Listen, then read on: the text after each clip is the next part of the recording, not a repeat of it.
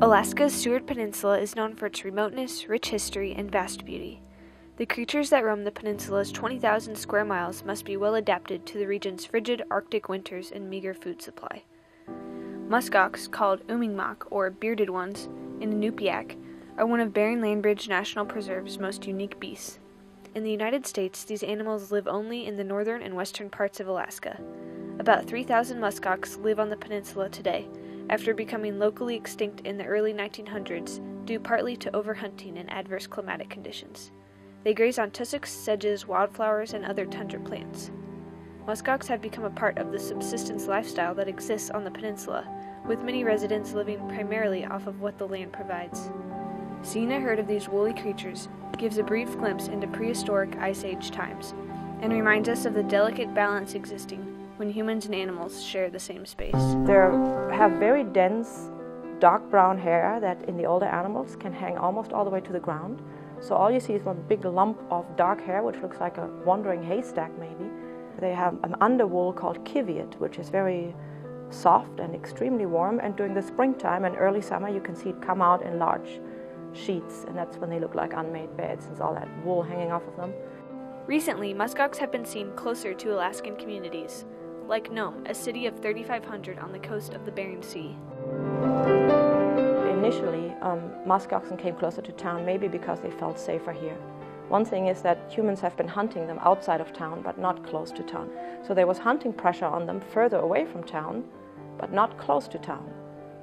There's all kinds of opinions. It's just so, it's very polarized. There's the people who absolutely love them and they say, never ever touch one, you know, we want to see them, they're lovely. Other people want to shoot them all. But now we have this issue with them attacking dogs, so the, the opinion I think has gone south again. Um, personally, I like muskoxen and I like to see them, but I don't want to see them in the parking lot when I get out of the car. It's not the, a, a safe place for them. It's not safe for us to have them there. Although the close proximity of herds to town has caused somewhat of a local rift in opinion about these animals, subsistence hunters still highly value the muskox for their meat and hides. I've been muskox hunting ever since the opportunity came up over 15 years ago. The way I, I do it is for the meat and also for the hide for kiviut. Like any other animal, it creates uh, stews, steaks, uh, roasts. It's, it's not a nuisance thing. I, when I hunt them, you know, I'm very serious.